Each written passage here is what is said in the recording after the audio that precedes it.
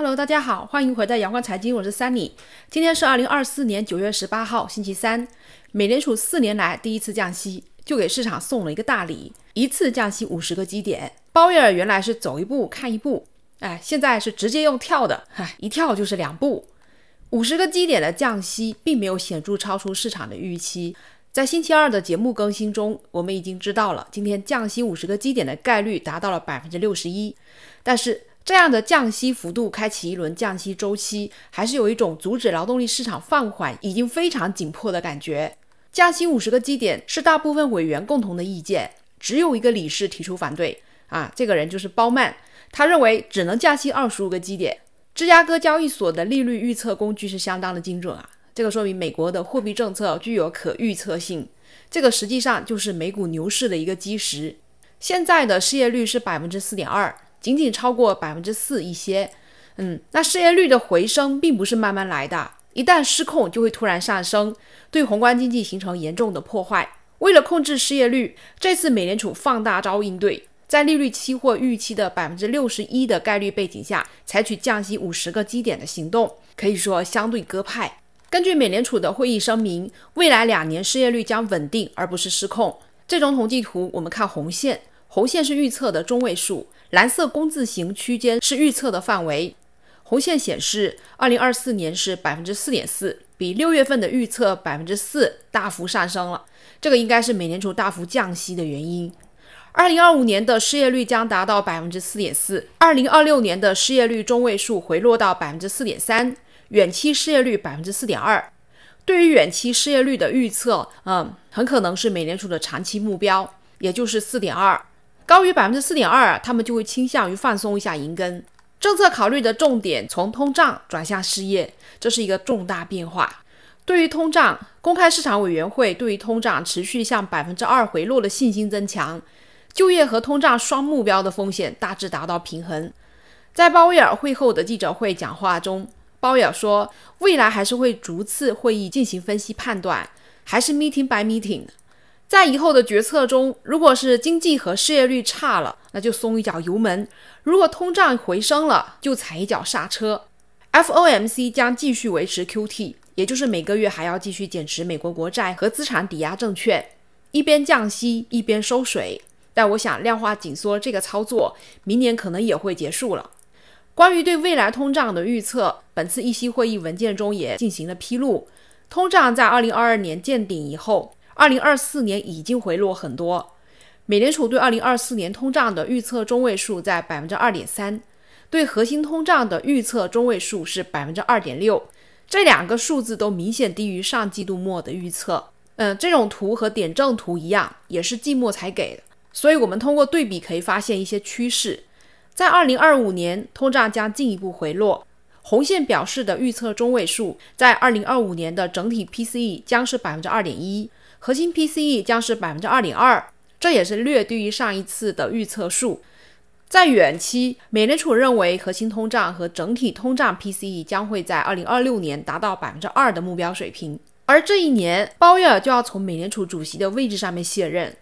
那看起来呢，他要在任期之内解决通胀的所有问题。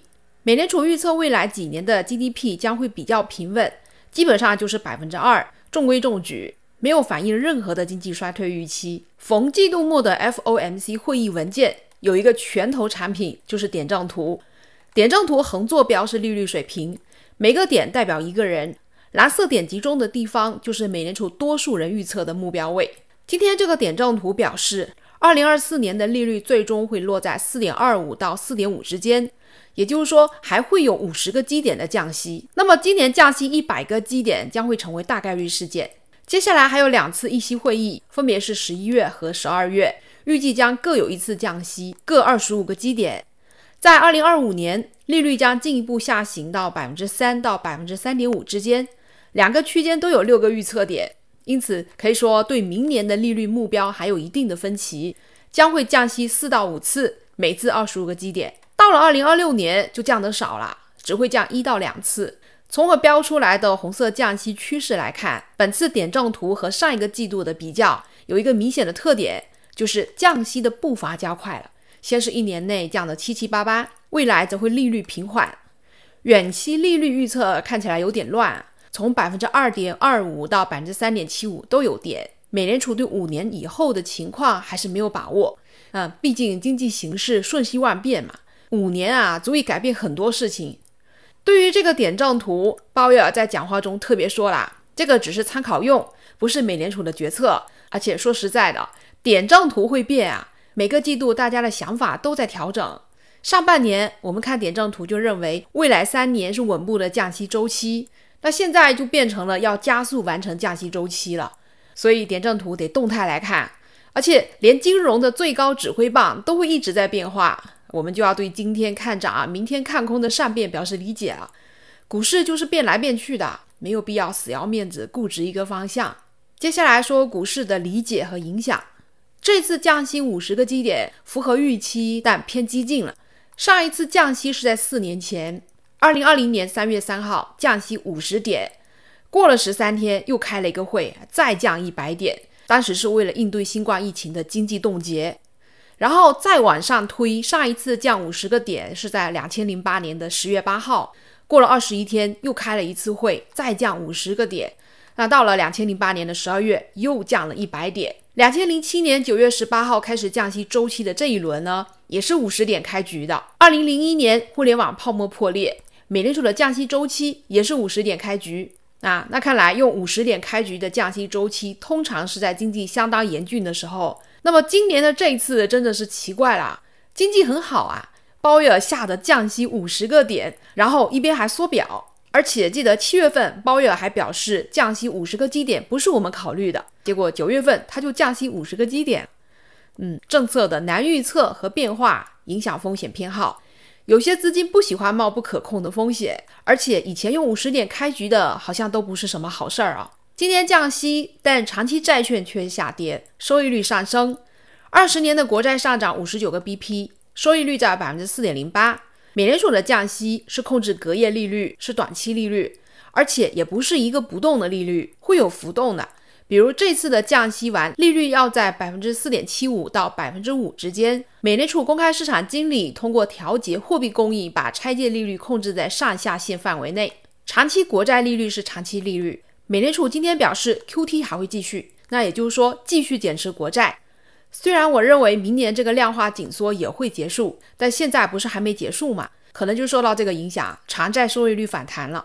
TLT 预计还是有希望在本轮降息周期的宽松环境下回升到一百一十美元以上。标普指数在鲍威尔讲话时创出历史新高，当前标普最高点五千六百八十九点，创下历史记录了。但是从两点钟议息会议结束和鲍威尔讲话开始，分时图忽涨忽跌，最终日内收盘在全天低点。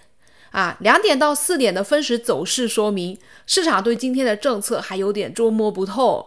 一会儿觉得重大利好，一会儿又觉得好像有什么风险。纳斯达克指数在降息五十点利好时冲高回落，收盘在全天最低点。两个宽基指数今天的设计之星 K 线反映出市场的冲动与纠结。嗯，这样的走势在短线上是看空的。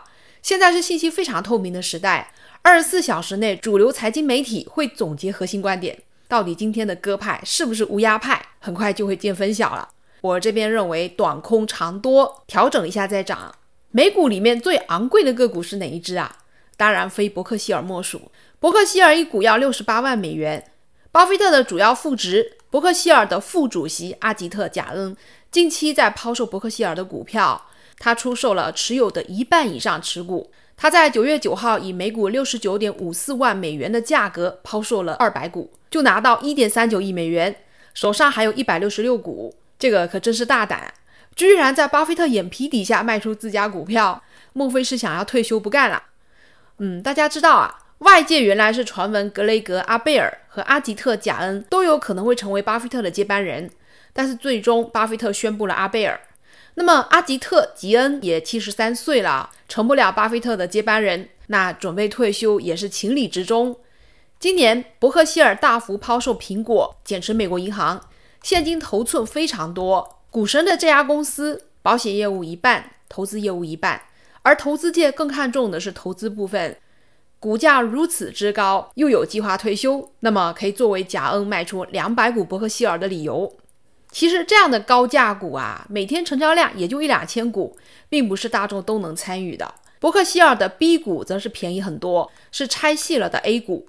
股价高低并不是股价高估还是低估的判断标准啊，有的股价高但是低估，有的股价三五毛钱都嫌高估了。伯克希尔一度突破总市值一万亿，是第一个非科技股跻身万亿市值的公司，但是这几天又掉了下来了，连巴菲特都觉得太贵啊，对自家公司的回购大幅放缓。二季度伯克希尔回购三点四五亿，是二零一八年以来最小的季度回购规模。二零二零年下半年以来，平均每个季度回购九十亿，和这个数字相比，巴菲特都不想高位回购。现在伯克希尔是在囤积现金，准备抄底。巴菲特的老师格雷厄姆主张极高的安全边际，不冒险才能在股市里面活得好好的。那你看现在美股股指再创新高，这个很显然没有什么安全边际啊。我因为是日更的节目，所以还是以短线判断为主。巴菲特是十几年一个轮回的在投资，他不会在乎有没有最后一波行情，任何时候都会有人看涨，有人看空。我们说吃鱼就要吃鱼身子，不吃鱼尾巴。如果觉得股市太高了，那也可以等一等。我相信观众都会有自己的角度、思路和判断。好，那我们今天的节目就分享到这里，感谢大家收看，下期节目再见，拜拜。